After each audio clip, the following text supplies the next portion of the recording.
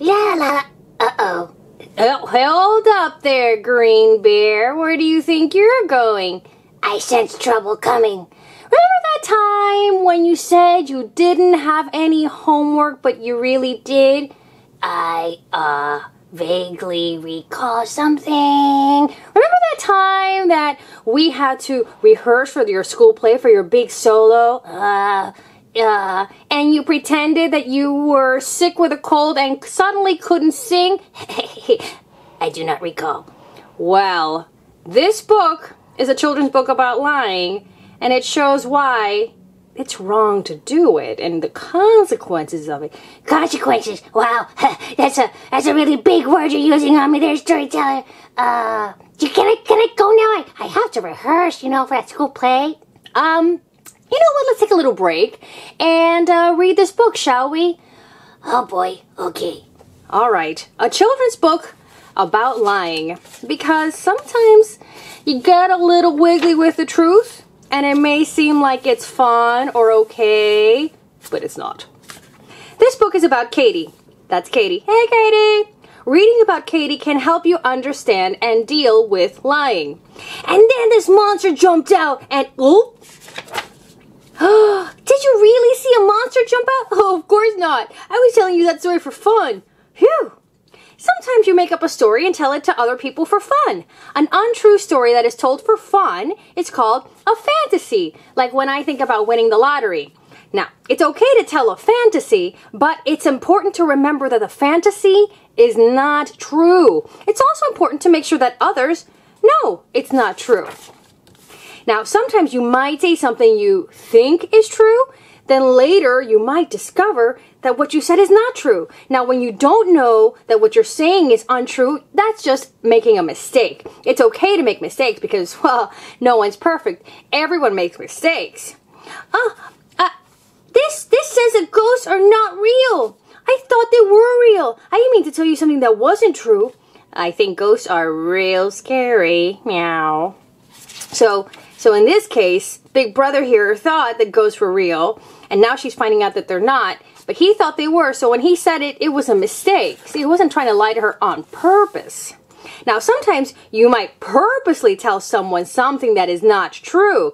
Now, when you do this, you are not telling a fantasy. You are not making a mistake. You are, in fact, lying. Now, lying is trying to make someone believe something that isn't true. It's deceiving or fooling someone on purpose. I think I'll tell my mom I'm sick so she will pay more attention to me. Mom, I'm sick. Hmm, you don't look very sick. Meow. Now, this is an example of the lying. Now, why is it a big deal, you wonder? Lying is not a good thing to do. When you lie, one, you disappoint other people. Oh man, that makes me feel bad. You cause people to wonder if you ever tell the truth, and you cause people to stop trusting you. What? That's a big deal. Oh, I, I, I don't want, I don't want you to stop trusting me. Well, then you always have to tell the truth. Oh man, I, oh, I gotta think about things. Now, let's go back to Katie. Here's her mom. You don't look sick and you don't have a temperature. Are you telling me the truth? Are you really sick? Say ah, says the little cat. Now, people who do not trust you might not believe you when you are telling the truth, and that's not good. There are times when you need to have people believe you, so you shouldn't lie. Mom, I'm sick. Look at Katie. Now she looks real sick. The last time you told me you were sick, you were lying. Now I'm not sure whether to believe you, says Mom. Hmm, yes, we don't trust you, says the Meowsers. There are many ways to tell lies. You can tell lies with your actions. You might cause someone to believe something that is not true by acting a certain way. Now you're lying when you do this. Now let's show an example. Oh no, if mom finds out that I broke her vase, or you could say vase, I say vase, she'll be angry. I'll just throw it away and maybe she'll never know. Sweep, sweep. Now you can tell lies with your silence. You might cause someone to believe something that is not true by not saying anything. That's also what grown-ups call a lie by omission. You omit, which means you take out something, which means you don't say anything at all. So, when you don't say anything, when uh, you might be lying this way by not saying something with your silence. For example, mom says, Does anyone know what happened to the vase that was on the table? Oh, if I don't say anything, she'll never know that I broke it. Uh, don't you know about the vase? Meow, said the cat of conscience. You can tell lies with your words. That's the opposite of saying it with your silence. Now you can say it with your words. You might cause someone to believe something by saying things that are not true.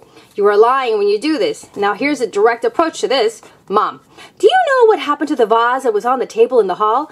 Uh, no, I haven't seen it for a long time. Ugh, that is a lie, said the cat of great conscience.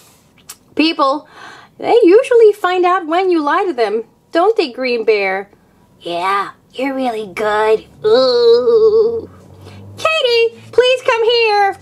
Uh-oh. What do you think Mom has just discovered?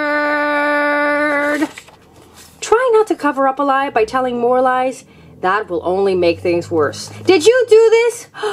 And sh finally, she wonders, should I tell the truth? What do you think? Should she tell the truth? Tell the truth if you've lied. And admit that, it, that you have lied. Say, I lied to you. This will make things better. Really? Are you sure? It's not going to make things worse? Like you're not going to get even angrier? Well, no, actually, what makes grown-ups really mad is when somebody keeps lying to them because, you know, grown-ups are smart. They sure are. They know everything like you. Well, we don't know everything, but we know a lot of things. And we know the truth and we know a lie. So when you lie some more, you get people really upset and then they never want to trust you. Oh, okay. Ah, now here's Katie. I lied to you when I said I hadn't seen the vase for a long time. Say that you're sorry if you've lied. I'm sorry. Hmm, what a mess. Mom looks sad.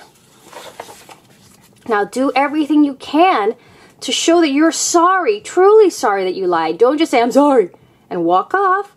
Show that you're so sorry about it and don't tell any more lies. How's Katie going to do to make up for it? She says, I can pay for the vase with the money I got for my birthday. Hmm, no, not a bad idea.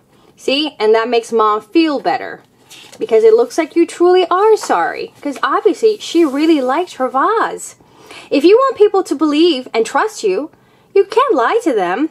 It pays not to lie. Meow. It sure does. Because, I mean, how would you feel, Green Bear? What? If somebody maybe broke one of your favorite toys? No, not my favorite toy. Yeah, what if they did and then they lied about it? Oh, that would make me so mad. Exactly. But what if they admitted that they accidentally broke your toy and that they were really sorry and that they would buy it another toy with their, mm, say, allowance money? Oh, well, I guess that would make me feel better because it was a mistake and they told me that it, there was an accident and they were trying to make me feel bad and fool me. Oh, I see what you're doing. Oh, yeah, yeah. Lying. No, no. Truth is the way to go, kid. Trust me on this.